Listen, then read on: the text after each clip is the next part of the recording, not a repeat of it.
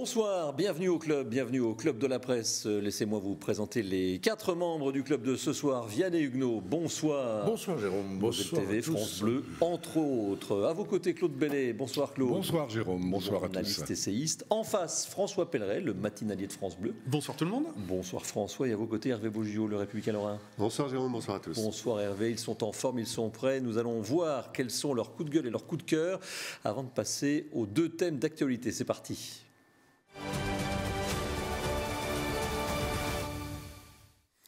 Et ils se sont mis euh, côte à côte comme deux grognards, deux grognons, puisqu'ils ont deux coups de gueule aujourd'hui, deux coups de gueule politiques euh, d'ailleurs. Et on va commencer par un coup de gueule. On va faire l'entonnoir à l'envers. Nous allons commencer par le national pour aller ensuite nous élever vers euh, d'autres cercles géographiques. Donc, Vianney Huguenot, vous avez un coup de gueule contre la France insoumise.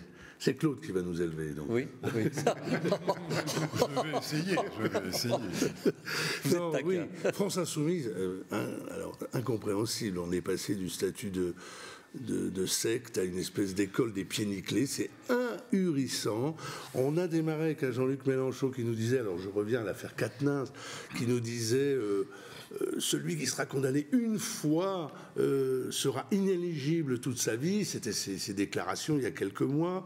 Euh, et puis, quand Katniss, son ami, a eu des ennuis, il lui a renouvelé sa confiance, ce qui était un beau geste d'amitié finalement. Moi, je trouve que l'amitié est une valeur supérieure et que je trouve que c'est pas mal. Et puis aujourd'hui, c'est le grand bazar. Tout le monde sort avec son petit code pénal. Chacun a son avis sur la chose. C'est le grand bazar. Si vous voulez, quand on est quand on veut, comme Jean-Luc Mélenchon est un Robespierre, il il faut pas être un Robespierre à mi-temps. Il faut l'être ou tout le temps, mais il faut être logique. C'est-à-dire qu'on sent qu'il n'y a plus du tout de ligne chez eux. Et ce qui est très choquant. C'est zapping. Chez les parlementaires, oui, c'est ça. Il y, a un vrai, il y a un vrai zapping. Et ce qui est très choquant, c'est qu'ils sont quand même. Ils sont des parlementaires. C'est-à-dire qu'ils incarnent la République, ils incarnent un état de droit. Et je veux dire, dans un état de droit, on sait aussi quand les gens sont condamnés, euh, bah, qu'il y a un, à partir d'un moment, ils ont peut-être. Euh, le droit à l'oubli, ils ont peut-être le droit à aller travailler, ils ont peut-être un certain nombre de droits que le juge va arrêter. Donc je trouve que les décisions ou les oukases de Madame euh, Rousseau et d'autres oui. sont quand même assez choquantes. Donc vous, vous faites partie de ceux qui pensent que voilà, Katnins a payé, il a pris 4 mois de prison avec sursis, rappelons-le, pour avoir giflé sa compagne ou son épouse. Il a le droit de siéger, puisqu'en fait c'est ça le sujet. Le sujet c'est que la France insoumise l'a exclu pour 4 mois. Mais il y a des condamnations, par exemple, dans les affaires, on connaît les affaires de pédophilie, où les gens sont condamnés, par exemple, ils ne pourront plus jamais travailler euh, dans des milieux où il y a des enfants, des colonies de vacances, des écoles, etc.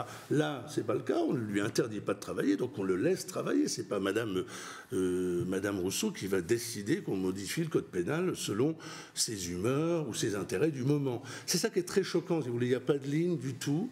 Euh, alors là, je déborde, c'est pas que la France insoumise, c'est la NUPES en général, mais ce sont des parlementaires qui, d'une certaine façon, s'y représentent un état de droit.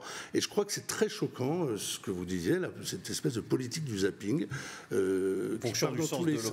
Oui. Ouais, ouais, Juste pour François. nuancer, le problème c'est que c'est pas un député, c'est pas un métier comme un autre. On, on est élu, on a peut-être un tout petit peu plus un devoir d'exemplarité puisque on est élu par des citoyens. C'est pas, on n'a pas postulé un entretien d'embauche mais... comme un autre euh, boulot. Après, ne l'empêchons pas de travailler, euh, Adrien Quatennens, bien entendu. Non, là où je te rejoins complètement, c'est qu'à la France insoumise, on fait beaucoup de leçons de morale, euh, peut-être un petit peu plus que dans d'autres formations politiques, ouais. et on voit le résultat quand ils ouais, sont ça. dans la NAS. Ouais. Eh ben, les leçons de morale, voilà. Adrien Quatennens toujours s'en méfier quand on en reçoit. Adrien Quatennens dit je n'ai tué personne, je n'ai violé personne, je n'ai pas de sang sur les mains. Je demande simplement de la proportion. Voilà, c'est ce qu'il demande pour euh, continuer d'exercer son mandat. Euh, il n'est pas interdit de siéger. Hein, non, donc il n'a pas d'interdit. Son mandat, son mandat se poursuit. Il est simplement exclu du, exclu du, groupe, euh, du groupe LFI. Mais je suis assez d'accord sur, sur, le caractère un peu illisible de, de, cette décision. Je pense que si la justice avait voulu infliger une, une peine complémentaire qui touche à son mandat, elle l'aurait fait. Voilà.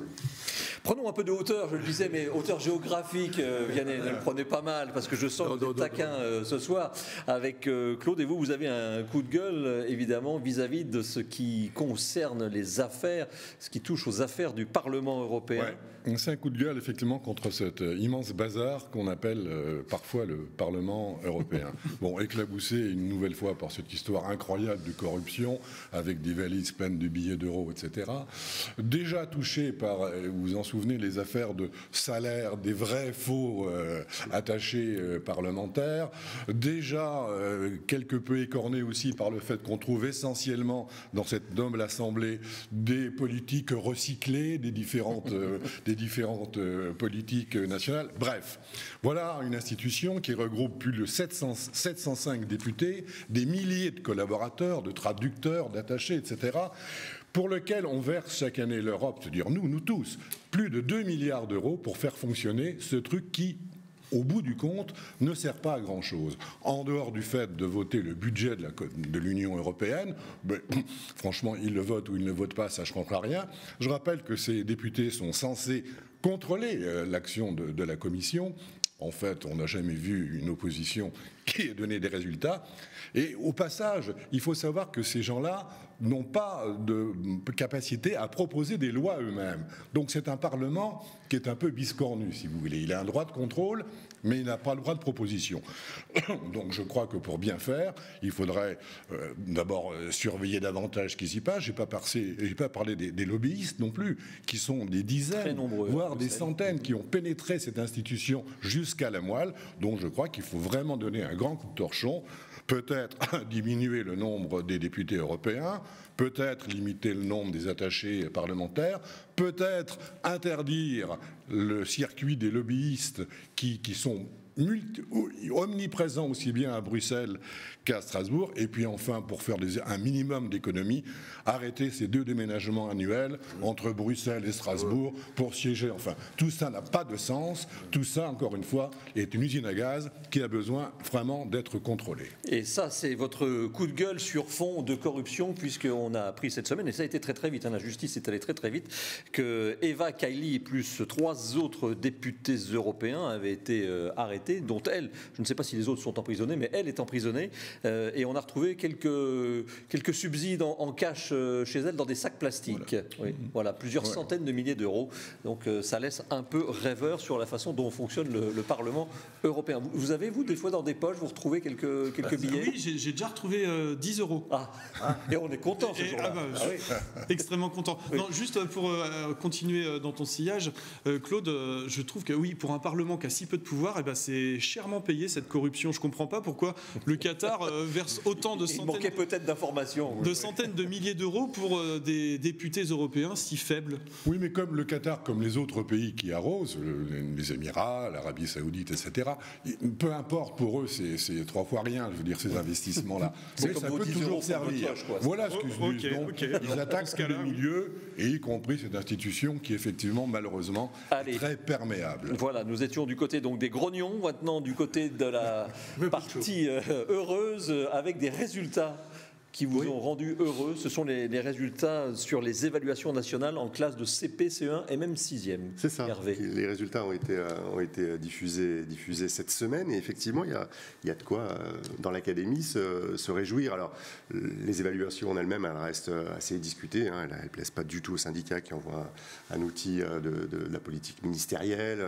Selon qu'on voit le verre à moitié vide ou à moitié plein, il y a des interprétations différentes. Enfin, néanmoins, quand on, quand on y regarde un petit peu de près sur les savoirs fondamentaux, pour l'Académie Nancy-Metz et singulièrement pour la Moselle, il y, a, quand même de quoi se, de quoi se réjouir, puisque on s'aperçoit, je vais employer un vilain néologisme, que les, élèves euh, lorrains et mosellans ont surperformé par rapport, euh, par rapport aux moyennes nationales, ce qui veut dire que voilà, on, est, on a plutôt un enseignement qui est plus efficace qu'au national, et singulièrement, et moi c'est ça qui me, qui me réjouit particulièrement, singulièrement dans ce qu'on appelle les REP+, c'est-à-dire les, les, réseaux d'éducation prioritaire renforcés. Alors l'éducation prioritaire, c'est ce sont euh, des politiques qui ont été depuis euh, des, années maintenant, des décennies même, euh, souvent brocardées. On, a parlé de gabegie de moyens, d'inefficacité, etc.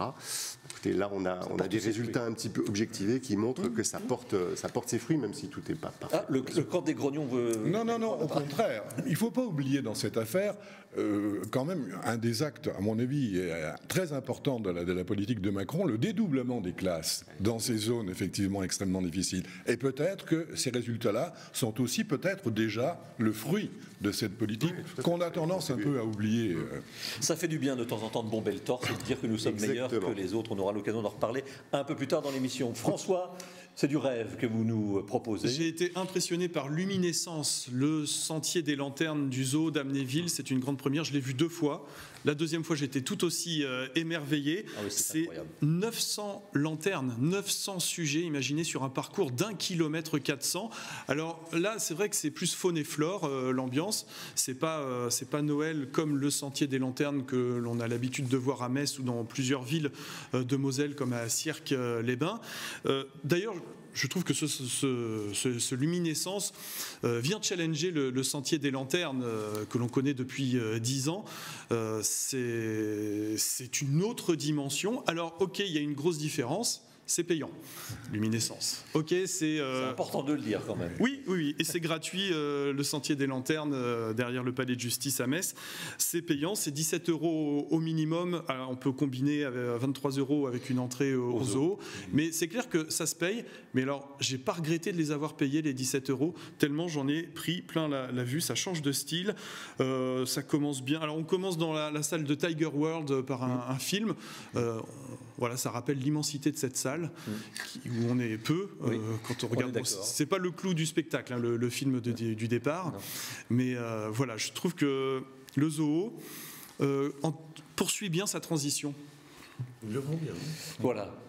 Tout le monde l'a vu Ils le vendent bien, ça donne envie d'y aller. Donc, hein. ben voilà, vous irez, vous, irez tous les deux. Voilà, vous irez tous les deux, ça vous mettra un petit peu le, sourire. On trouvera bien quelque chose à redire. On pourra prendre des billets seniors, sans doute, ça doit exister.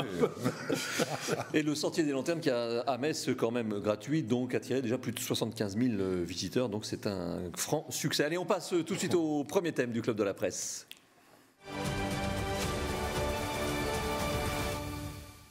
Vous avez été euh, extrêmement euh, bavard, donc on va essayer d'aller un peu plus vite sur les deuxième et troisième points.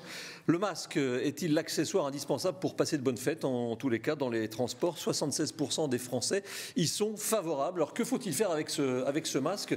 Je me tourne vers vous, Claude, en sachant que François Braun, notre ministre, on peut dire notre ministre, a dit qu'il n'aurait pas la main qui tremble au cas où, au cas où il faille signer un décret pour euh, le rendre à nouveau obligatoire. Non, mais c'est normal de, sa part de, responsable. Mais je crois que tout ça, en fait, peut se résumer euh, en deux mots. Euh, bon sens. Que chacun d'entre nous fasse preuve de bon sens.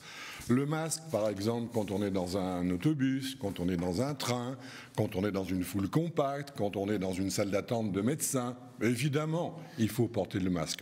Pour le reste, à chacun d'apprécier les risques qu'il encourt pour lui-même et les risques éventuellement qu'il peut faire courir aux autres. Légiférer, décider, ordonner, arbitrer, tout ça me semble vraiment inutile. tout, le monde, tout, le monde, aujourd'hui a pris conscience des risques, etc. Et je pense que c'est à chacun, encore une fois, en faisant preuve de bon sens, de dire oui, là je mets le masque, là je n'en ai pas forcément besoin. Je croisais ce matin, en venant ici, un monsieur tout seul dans sa voiture avec le masque jusque sous les, sous les yeux. Franchement, il y a un minimum de risque quand on est seul. Ah, dans, une, dans sur les yeux, hein, quand même. Non, mais juste, vous voyez par exemple, je pense qu'après, c'est à chacun. Bon, euh, voilà. En sachant que la France n'est plus en situation d'urgence sanitaire depuis le, mois d'août, alors donc on ne peut plus prendre de décision aussi rapidement et facilement que pendant cet été. Oui, tout à fait, mais c'est pour ça que je crois que Claude a raison de faire appel au bon sens. On sait aujourd'hui qu'il va falloir apprendre à vivre sur le long terme avec ce, avec ce virus de, la Covid-19. Et donc je crois que voilà, le masque, c'est un des moyens de lutte, on le mm. sait, comme se laver les mains, etc.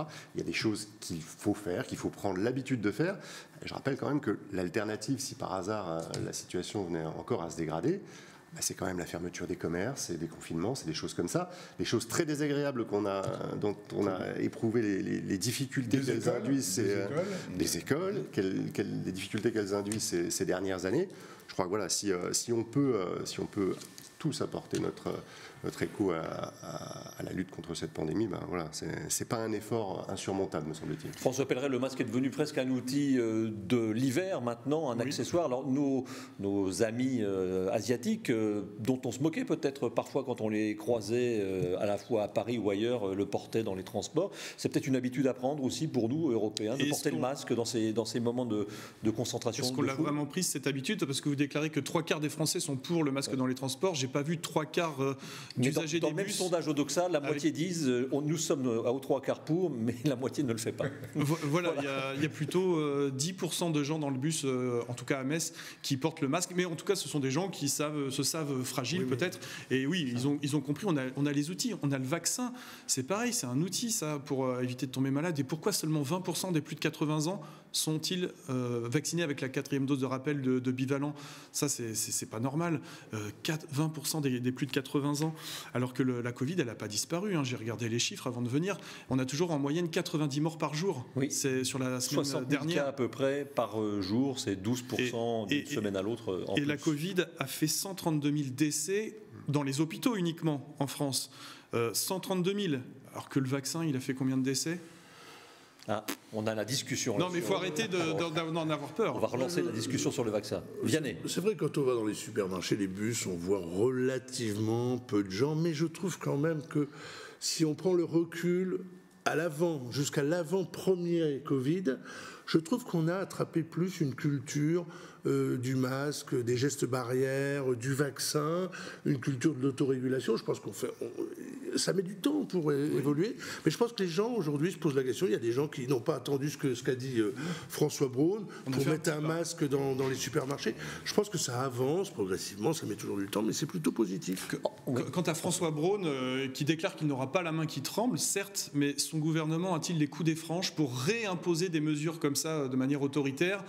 Euh, je ne crois pas qu'il ait les coups des franches face à un, Parlement euh, qui ne soit pas avec lui pour réinstaurer un état d'urgence. Donc euh, ça ne sert à rien d'avoir la main Il peut le faire, d'après les politiques que j'ai lues ou les juristes, il peut le faire par décret de façon un peu plus facile sans aller consulter. Face à ces oppositions fortes, est-ce que son gouvernement, au ministre de la Santé, a les moyens de le faire? Et le sujet, c'est que cette euh, grippe euh, un peu particulière se combine avec la grippe euh, traditionnelle et la bronchiolite. Donc voilà, ce sont les informations que le gouvernement veut faire passer. Il y a tout un tas de choses qui, si vous me le permettez, traînent en hiver et il faut faire attention. Le dessin de l'indingre sur le masque pour les fêtes. Alors, masque ou pas, franchement, ils sont tellement moches dans ma belle famille que je les préfère masquer. Voilà.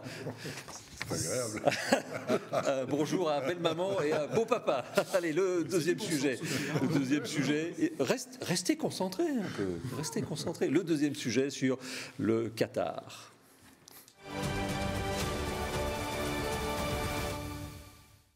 C'est comme avec les enfants, dès que le temps est un peu neigeux, ils sont excités, ils sont surexcités. Le Qatar, alors on avait, euh, on avait parlé, vous souvenez-vous, il n'y a pas si longtemps, d'un boycott euh, de, cette euh, Coupe du Monde. je voulais simplement vous donner les chiffres du, boycott. Alors le boycott sur TF1, 20,7 millions de personnes devant leur téléviseur n'ont pas boycotté et beaucoup d'autres étaient dans, dans les bars. ça, ça prouve que même si ça, gêne évidemment compte tenu de ce qui s'est passé avant, ça prouve finalement c'est un mondial, Claude, vous en avez vécu quelques-uns, c'est un mondial qui se passe bien. Mais bien sûr, très bien organisé.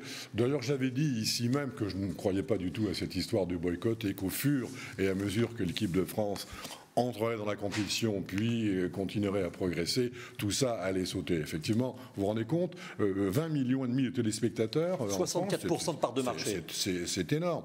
Les, bars euh, sont pleins, les téléviseurs sont installés comme si, bon, rien n'était. Donc je pense que il y a, à mon avis, plusieurs raisons. D'abord, effectivement, c'est le parcours de l'équipe de France, ça c'est évident. Deuxièmement, il y a aussi le fait qu'il n'y a pas une bavure dans cette, dans cette organisation de la Coupe du Monde. Vous savez, on avait dit, il va faire très très chaud ils ont climatisé. En fait, les températures sont tout à fait euh, agréables, 18, 19 degrés le soir à l'heure où ça se joue.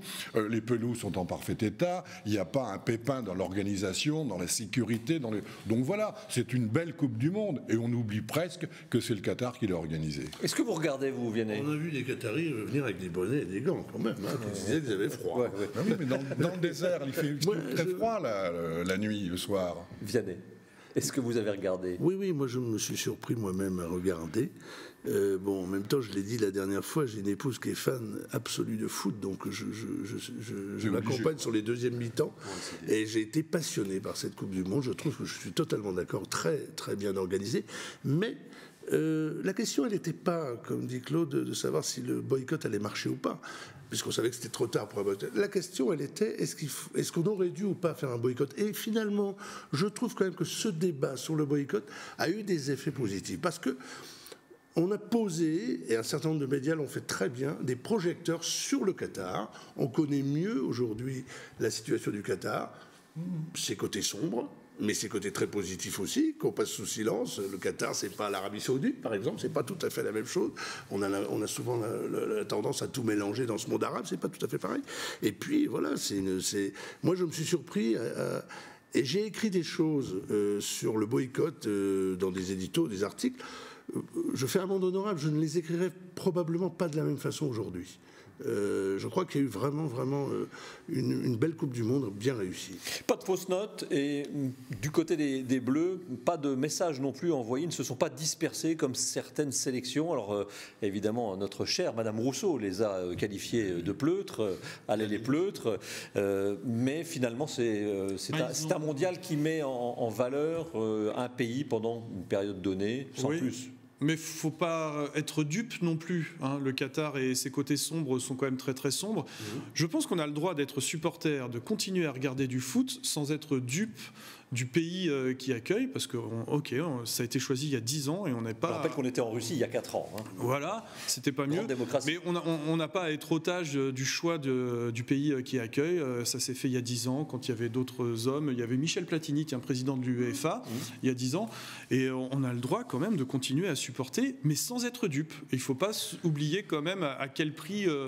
et puis ne pas tomber non plus dans le jeu de la com du Qatar. Hein, qui, est quand même une immense opération de com. Euh, vous, avez vu que la, FIFA euh, envisagerait de déménager de Suisse au Qatar. Ah oui. Et que Infantino, le président de la FIFA, la Fédération internationale de foot, a déjà, lui, et lui est déjà résident depuis un an à Doha. Je, vous invite, même si ça n'est pas bien, puisque je suis le patron de Moselle TV, mais je vous invite à regarder la série sur l'UEFA, euh, sur le documentaire euh, sur une plateforme qui commence par net et qui finit par Flix. Euh, C'était assez affligeant. Hervé, sur, sur cette Coupe du Monde et ce, boycott, alors je sais que vous, de vos origines italiennes, vous l'avez boycotté, cette Coupe du Monde, puisque vous n'êtes pas sélectionné. Non, j'ai pas eu la force. Oui. C'est un taxe, ça, mérite le carton rouge. Ah oui, Non, non, je, reste supporter des Bleus. Ah ben, je, constate d'abord que le boycott est soluble dans les victoires tricolores, hein, manifestement, puisque ça n'a été que crescendo. Donc euh, voilà, ça c'est un état de fait, mais je pense qu'il n'y avait pas besoin déjà avant le, coup d'envoi du, du, match d'ouverture d'être grand clair pour faire le pari que ça allait se passer de cette façon-là. moi, je suis assez d'accord avec Vianney. Je crois que les sujets qui fâchent ont été posés. Alors, certes, le boycott n'est pas aussi spectaculaire que Madame Rousseau euh, euh, l'aurait souhaité. Il n'y a pas eu de, coup d'éclat euh, au sein, des Bleus.